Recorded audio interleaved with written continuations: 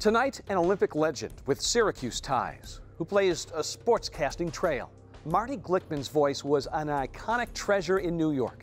His developments of the craft of TV sports play-by-play launched three generations of sportscasters. His legacy was celebrated at a Manhattan gala attended by SU alum. It's the focus of a new WCNY program airing next week. Glickman's Calling, next on Insight. Insight is made possible through the support of our members. As a bus driver, I'm a very important part of the community. Nothing is more important than the safety of the children. I love the kids. That's what I'm there for, to do my job and deliver them safely and securely.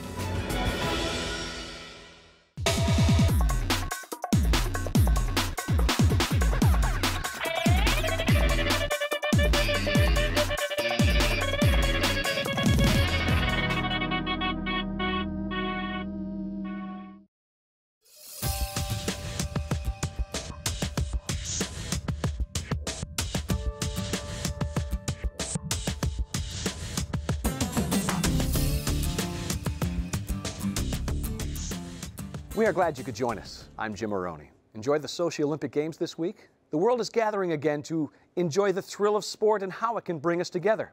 Of course, the spectacle of the Olympics has long been about more than the medals. We do a lot of thinking about where we are as a planet when we watch athletes from tiny countries and giants compete against each other. Sport can have that effect on us even for the people who don't like the politics that get rolled in. Now, in Russia this month, there's the threat of terrorism, the scrutiny of Russia's treatment of the Games, and all of its citizens, especially those who are not heterosexual. It may seem like just a grand distraction from the one one hundredth of a second or point that we need to measure the difference between a gold and silver medalist in speed skating or gymnastics.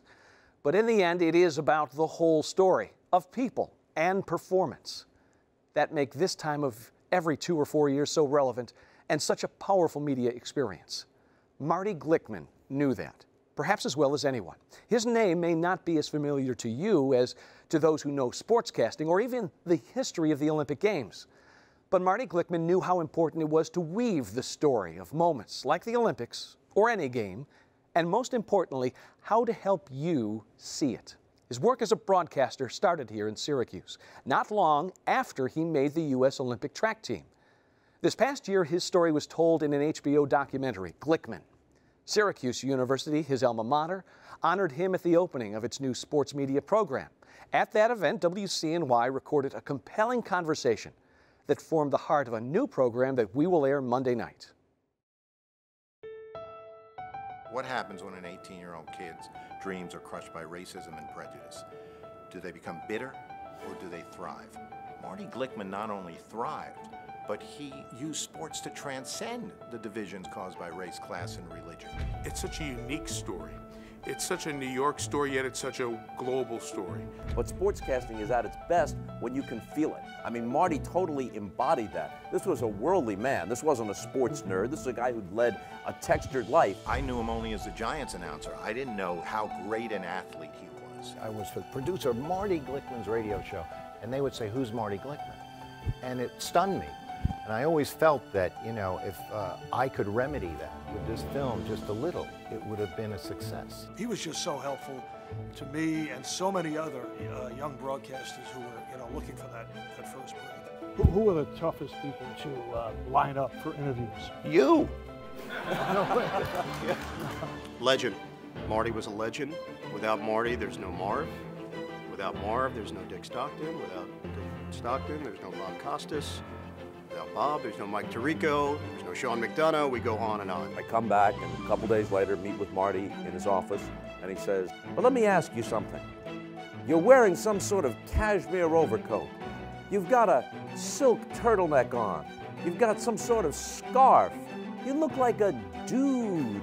It's a football game, Bob. Wear a parka, Bob. And then, then you saw that fur jacket that he had on. Absolutely ridiculous. He was a wonderful guy in so many ways, and he was a mentor. Till the day he died, he was a mentor to every one of us, and we all looked up to him and all had great affection for him. With all the stories in the sports page, it's not about the sports, it's about steroids, it's about uh, you know, DUIs. Marty Glickman represented the purity of sport. and almost a primal feeling when you first have a catch with your dad. That's what emanated from Marty's broadcast.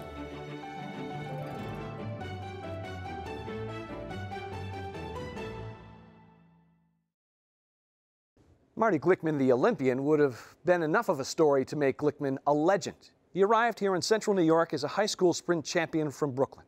His talents were so undeniable, Glickman earned a place on the 1936 United States Olympic track team that would compete at the Berlin Games. Glickman ran alongside the great Jesse Owens. It would be Owens who made the gold medal impression on Adolf Hitler.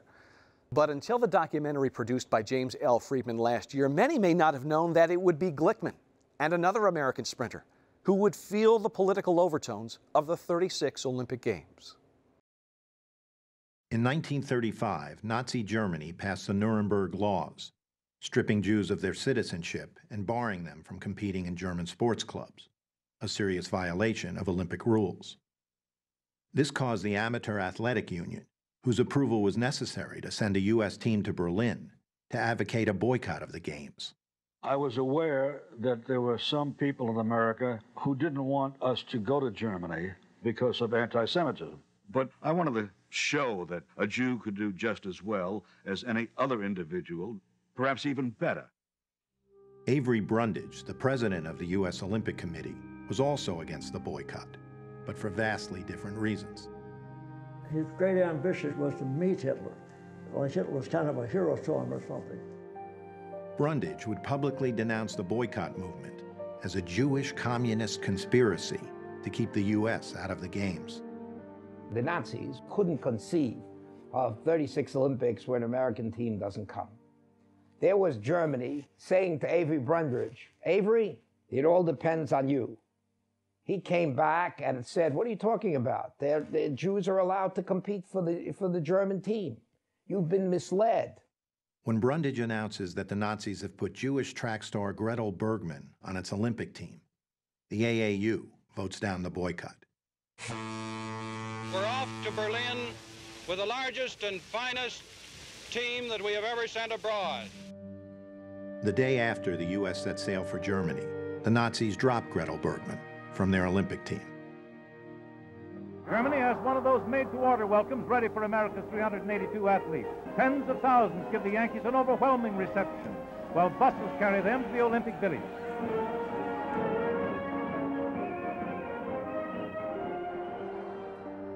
Marty arrived in a Berlin that had been sanitized for its Olympic guests.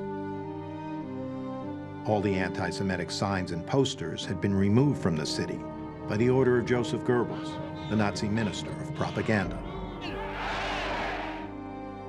Banners and flags, they were all over the place and dominated by the swastika. This was 36 before we really got to know what the swastika truly meant. If Hitler was humiliated by the black athletes, the thought of Jews standing on the winning podium troubled him even more since it could strike a profound blow to his claims of Jewish inferiority. The next scheduled race was the 400 meter relay, Marty Glickman and Sam Stoller's event, an event the Americans were so favored to win, it was said the only way they would lose was if they dropped the baton. The morning of the day we were supposed to run in the trial heats, we were called into a meeting, the seven sprinters were, along with Dean Cromwell, the assistant head track coach, and Lawson Robertson, the head track coach. And Robertson announced to the seven of us that he'd heard very strong rumors that the Germans were saving their best sprinters, hiding them to upset the American team in the 400 meter relay. And consequently, Sam and I would be replaced by Jesse Owens and Ralph Metcalfe. We were shocked. Coach, you know, we're the only two Jews on the track team, Sam and I. We'll worry about that later, said Dean Cromwell. Sam was completely stunned. He didn't say a word in the meeting. I'm a brash 18 year old kid, and I said, Coach, no matter who runs, we're going to win this race by 15 yards. At which point, Jesse spoke up and said, I've won my three gold medals. I'm tired. I've had it. Let Marty and Sam run. They deserve it. And Cromwell pointed his finger at him and said, You'll do as you're told. And in those days, black athletes did as they were told.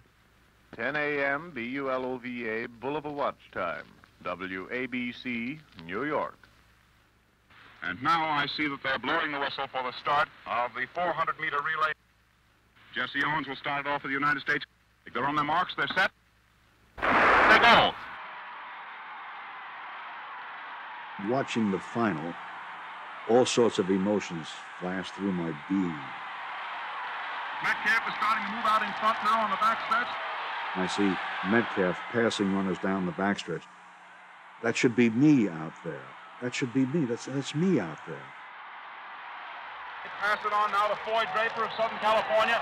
Draper moves out in front by about seven yards, and he's going to pass it on next to Frankie Wyckoff. Wyckoff takes a beautiful start on that. He's down the stretch 15 yards out in front and running in the third lane. When you see the finish of the race, all you see is Frank Wyckoff crossing the finish line. You don't even see the second place finisher. He's out of the picture, 15 yards behind. If they had Stoller and Glickman in there, they might have, uh, instead of winning by 15 yards, they might have won by 14 yards. The Germans didn't finish second or third, they finished fourth. So the story given us was an out and out lie by Robertson and by Dean Cromwell. The day after the race, Marty was walking across the Olympic Village when Lawson Robertson, the team's head track coach, spotted him. Marty, Marty. And I jogged over to him. I just want to tell you how sorry I am. I made a terrible mistake. And uh, he said he was sorry. Dean Cromwell didn't say a word, never spoke to me again. Some people believe that Dean Cromwell was only looking after his USC Trojans, Draper and Wyckoff, and that track politics was the reason Glickman and Stoller were dropped. Frank Wyckoff disagreed with that assessment. Down in my heart, I think it was done the way it was because of the Jewish thing. I'm sorry, but I believe that. Ralph Metcalfe added, Of course I'm convinced it was the Jewish thing that was behind it. Glickman and Stoller should have run. Others blame Avery Brundage, believing he removed the two Jewish runners to appease Hitler. Brundage dismissed any accusations of foul play, writing in his official report on the 1936 games. An erroneous report was circulated that two athletes had been dropped from the American relay team because of their religion. This report was absurd. The two athletes were taken only as substitutes. Two years later, when the Nazis were building the German embassy in Washington, D.C., they awarded the construction contract to Avery Brundage. In the entire history of the modern Olympic Games, no fit American track and field performer has ever not competed in the Olympic Games, except for Sam Stoller and me, the only two Jews on the 1936 team. As much as Marty Glickman's Olympic experience would make you think it is his storied legacy as a broadcaster and the family tree of sportscasting that grew because of him that drew some of the craft's best to New York last summer. His protege, Marv Albert, and fellow Syracuse University alum Bob Costas sat down with Jim Freedman to share more of what made Glickman one of broadcasting's grand masters. What do, you, what do you remember most about dealing with Marty in, that role? Well, first of all, like you, I grew up listening to him. So first of all, it's, hey, here's Marty Glickman, and he cares about me, and he knows my name, and he's familiar with my work. But how there was no ego at all. I mean, when people in our profession have just a little ego and just a little pretense, that's noteworthy. In his case, none at all. He honestly wanted you to be as good as you could possibly be. He reveled in your success. Um, it was never about him, except to the extent that he wanted to impart whatever his own experience had, had led him to know, and, and he wanted to share it with you. Uh, he wanted you on television to be as spare as possible, and he understood the difference between radio and television um, and wanted you to put captions beneath the pictures on television as opposed to painting the entire picture, which he was so capable of doing on radio. And that distinction was important to him. Around 1983, before I started hosting the, the pregame show, I was doing play by play of games with Bob Trumpy. And it was a cold December day in New England. And after the game, I come back and a couple days later meet with Marty in his office, and he says, keyed And he often, you knew your name, but he'd go, Keed, K E E D. Um, and Keed, it was a, another good broadcast. But let me ask you something. You're wearing some sort of cashmere overcoat. You've got a silk turtleneck on. You've got some sort of scarf. You look like a dude. I said, you look like a dude. It's a football game, Bob. Wear a parka, Bob. This isn't the cover of Gentleman's Quarterly, Bob. And then, then you saw that fur jacket that he had on. Absolutely ridiculous. So I don't know. You spent what about four four years, right, working Close on the to, yeah. project. What what were your realistic hopes for the film? You know, I, I always, when I was doing the film, uh, when I first I moved to the Midwest and later uh, to California, and, and people would say, what's the best job you ever had? And I said, I once, I, I, I was the producer of Marty Glickman's radio show. And they would say, who's Marty Glickman? And it stunned me, because outside of New York, he, had, he was known by very few people. And I always felt that, you know, if uh, I could remedy that with this film just a little, it would have been a success. And that's how I feel. I always knew uh, his story was so incredible. I knew I would sell this. I never dreamed Scorsese, you know, would get involved. But I, I wanted his story told. It deserved, this man's story deserved to be heard.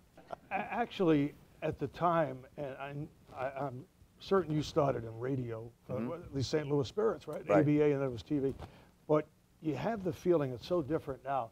When you did radio, you felt you were the game. I mean, Definitely. that, that's, it's so different because in television, you're really setting up the person you're working with, and Mhm. it's less talk, and Marty always used to deal with that aspect. And all in the first generation of television, and probably into the second, all the great television sportscasters were actually radio Right. broadcasters who just cut it back appropriately, whether it was Lindsey Nelson or whether it was Vin Scully or, or Marty or Mel Allen or Red Barber, whoever it might be. They all had begun in radio.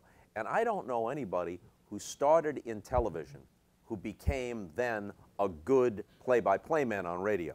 But I know zillions of guys who started in radio, developed the full skill set, and then just tapered it back and adjusted it for TV. Jim, you brought it up in the film. Uh, to me, that was always the fascinating part that, uh, that Marty, with his radio description, it's left baseline, right baseline, top of the circle, uh, it's right side of the lane. You drive down the lane, drive across the lane. And, he was so unusual because, as Mike had mentioned, and uh, we all touched on the fact that uh, he set the terminology. I mean, there was no basketball terminology in terms of broadcast before Marty. It's, it's you know, uh, people said, "How- how did he affect your film? And he couldn't affect my film because he's not here today, but what I did was he was so, the sparseness of language, he couldn't stand when an announcer talked too much. He had that Right. famous line, the only one who tunes in to hear a broadcast is the broadcaster's mother, you know?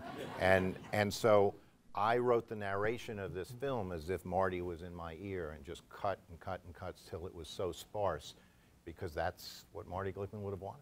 Bob, did he ever discuss your uh, doing Olympics on, on television? Did he ever talk to you about it? Yeah, and I remember on one occasion, he was generally approved of it. On, on one occasion, he called me during the Olympics. Generally approved. Generally approved. He- Not, Yeah. not, and, and was it the clothing or was it just? the- it, it, the, but by, by then the wardrobe was okay by Marty, but um, he, he felt at times that I was too matter of fact. And actually, he was onto something because there were times when I felt, and please don't anyone take this out of context because NBC's broadcast of the Olympics en- encompasses so much, and the producers do such a remarkable job with the stories and whatnot. But because we're trying to hold an audience, there's sometimes a line crossed between the legitimate drama and theater of sports and going into melodrama and, and hype. Any network that does an Olympics is going to do that from time to time.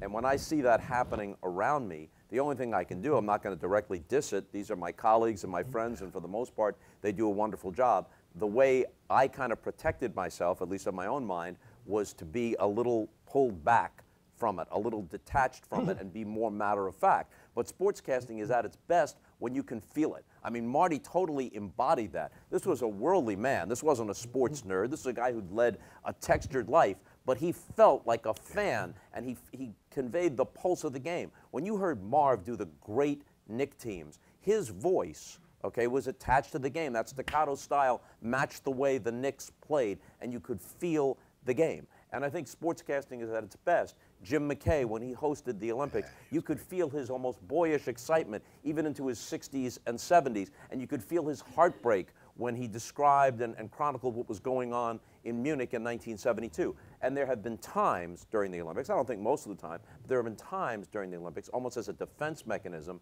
when I've kind of, I've kind of gone into, I've relied more on craftsmanship than on a visceral feeling. And Marty was so perceptive and picked up on that. He said, I, I want to feel your heart more. I want to mm. see you smile more. And he was right. WCNY and its Access Video team produced that program, remembering Marty Glickman, a sportscasting pioneer.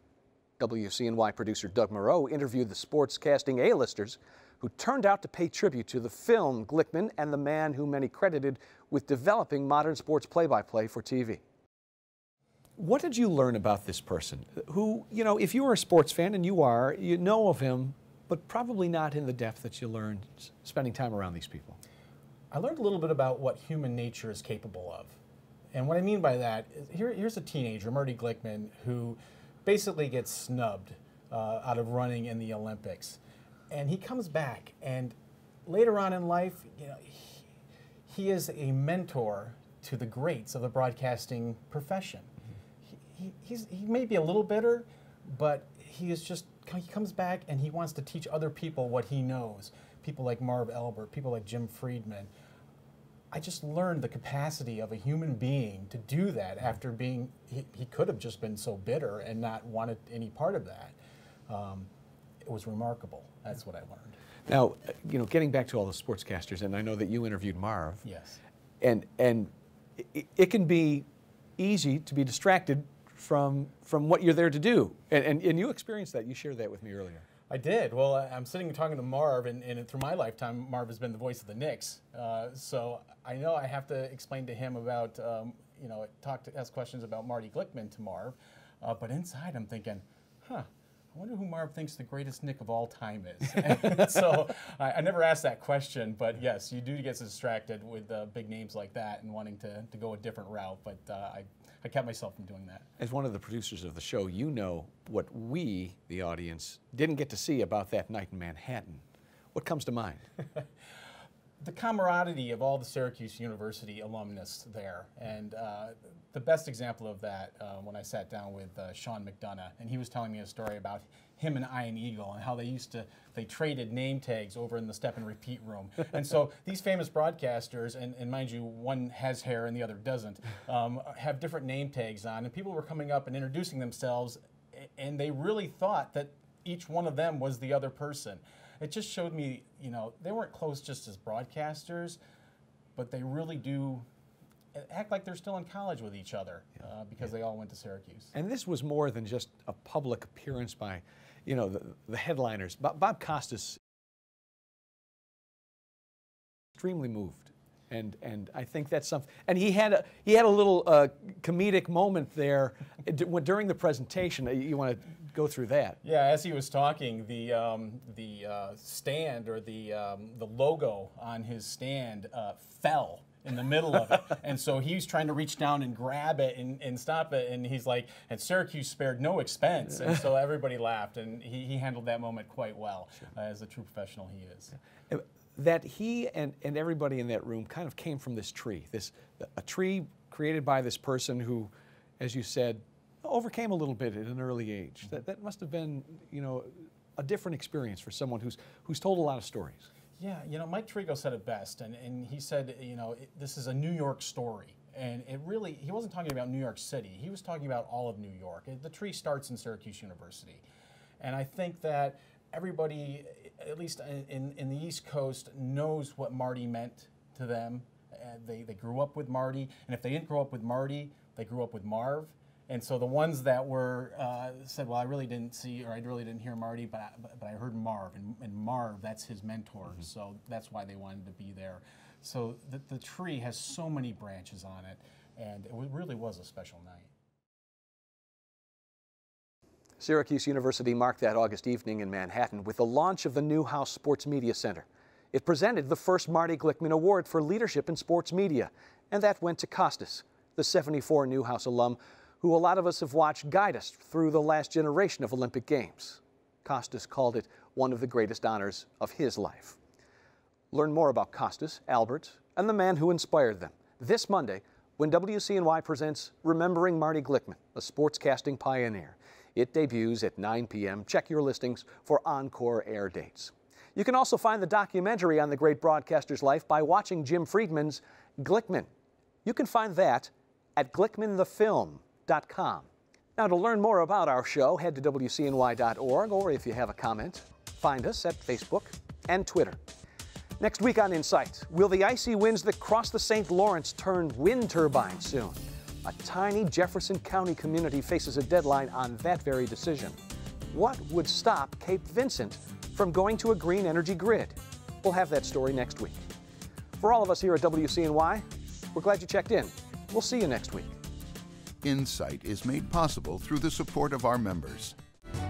I love making my patients happy. It's giving love away. They're always telling me that I'm their favorite nurse. My residents are very grateful. It makes me want to keep going.